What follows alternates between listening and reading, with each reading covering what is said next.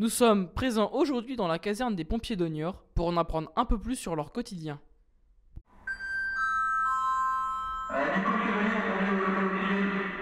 Pouvez-vous me décrire brièvement les raisons qui, qui vous ont poussé à devenir pompier?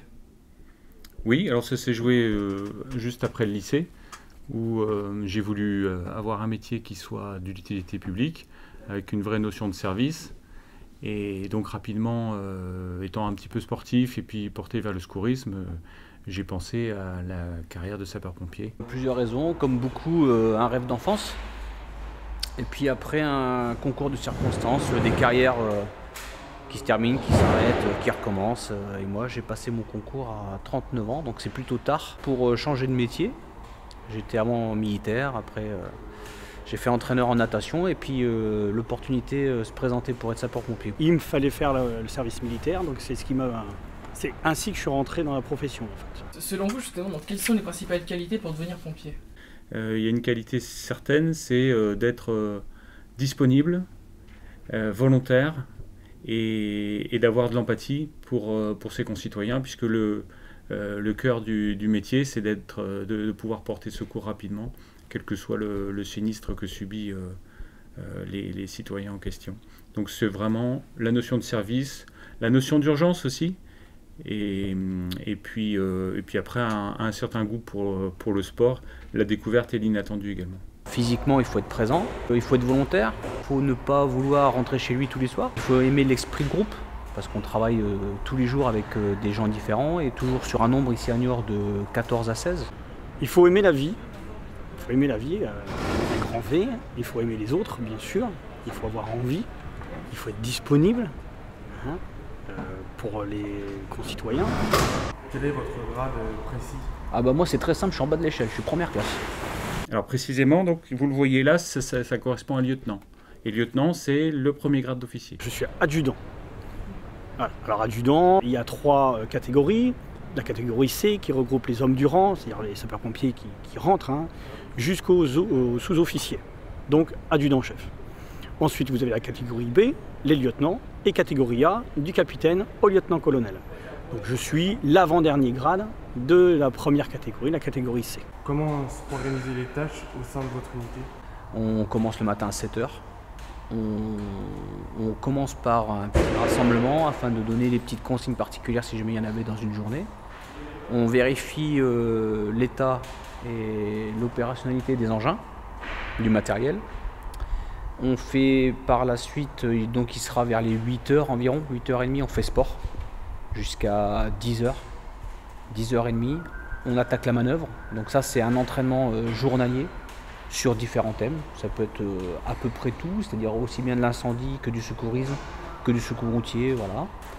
Le repas, 14h on va travailler dans nos services, c'est-à-dire que pendant de 14h à 17h on va accomplir les tâches journalières qui peuvent être euh, dans une caserne de, de la mécanique jusqu'au euh, bricolage sur des toits, jusque euh, là on a eu une tempête, on a dû arranger euh, les bardages. Ensuite à 17h ça sera la fin de la journée, on peut retourner faire du sport pour ceux qui veulent, mais par contre au cours de la journée, euh, tout sera en fonction des départs en intervention. Comment on peut gravir les échelons d'une unité de pompiers en passant des stages et des formations ou des concours. Voilà. Donc c'est le résultat au concours, aux stages et formations qui permettent d'acquérir des UV.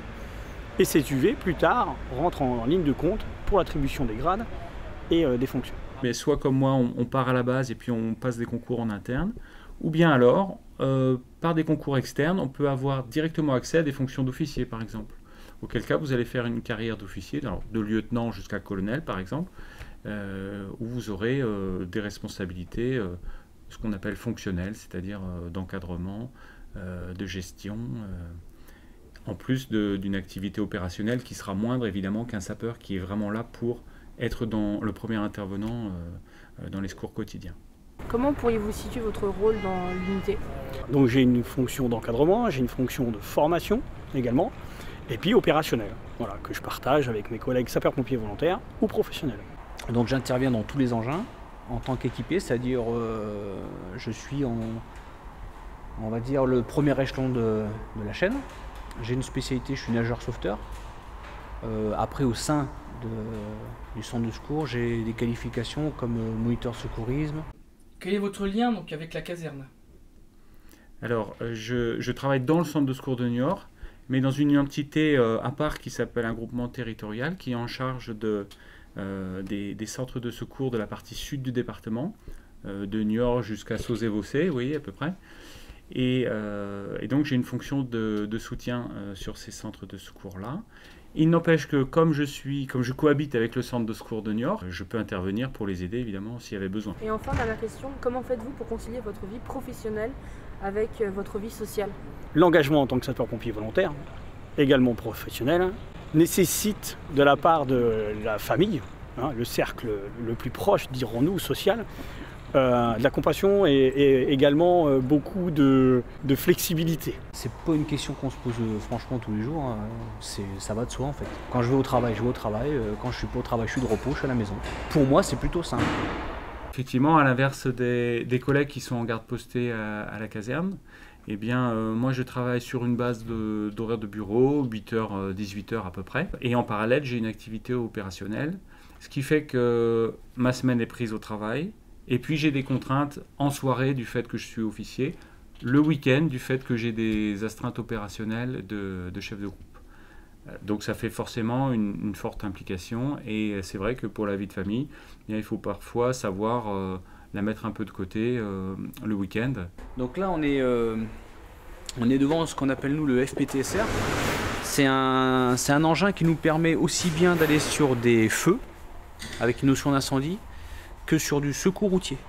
C'est-à-dire que de ce côté-là, vous avez aussi bien des tuyaux des lances pour pouvoir éteindre incendie, comme ce système-là. Là. Mais vous avez tout le matériel à votre disposition pour euh, intervenir sur un secours routier et euh, et faire ce qu'on appelle une, une désincarcération, c'est-à-dire qu'on pourrait arriver à sortir une, véhicule, un- une personne bloquée dans un véhicule. Voilà. On a ce matériel-là, ce matériel-là, avec lequel on peut, on peut serrer, on peut écarter, on peut couper. Donc ça c'est le dernier véhicule de secours qu'on a eu, on en a un autre. Alors aujourd'hui précisément, vous avez l'opportunité d'aller euh, sur site pour voir euh, un petit groupe qui travaillait euh, les techniques d'utilisation des moyens élévateurs aériens que sont en particulier les échelles pivotantes qu'on appelle communément donc les, les grandes échelles. Alors ça rentre dans le cadre de formation de maintien des acquis. C'est-à-dire que vous avez eu affaire à des gens qui sont déjà formés pour le- l'utilisation de, ce type d'engin d'intervention et qui régulièrement vont mettre à jour leurs connaissances, comme son nom l'indique, maintien des acquis, pour pouvoir euh, rester toujours performants et se mettre, euh, et se mettre à jour des évolutions éventuelles qu'il pourrait y avoir. Les pompiers, quand ils interviennent euh, sur une opération, ils doivent euh, se revêtir de cette tenue qui est une tenue de base ou une tenue de travail qui protège bien en particulier euh, les pieds avec euh, des chaussures de sécurité. Et puis pour le reste, donc veste, pantalon, euh, qui sont inifugés et qui ont euh, déjà une action de protection minimum. Alors pour se prémunir euh, des équipements de protection individuelle supplémentaires qu'utilisent les pompiers, dans l'ordre, c'est un surpantalon que l'on vient revêtir en plus de celui que l'on a déjà, qui se tient avec des bretelles, qui est large volontairement pour des questions thermiques.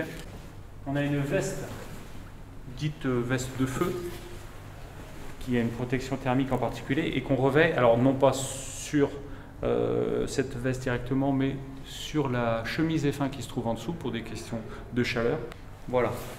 Et enfin, euh, des gants, différents gants. Ça, ce sont des gants d'attaque, donc vraiment pour l'incendie, qui sont très protectrices par rapport au risque thermique. Une cagoule que je revêt qui protège en particulier de la zone du cou.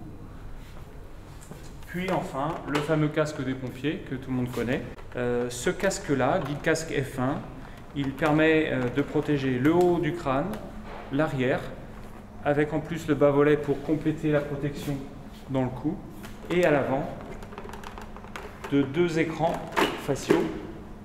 Un grand écran comme ceci qui protège en particulier du rayonnement, et puis des lunettes de protection qui protègent donc des risques de projection au niveau des yeux.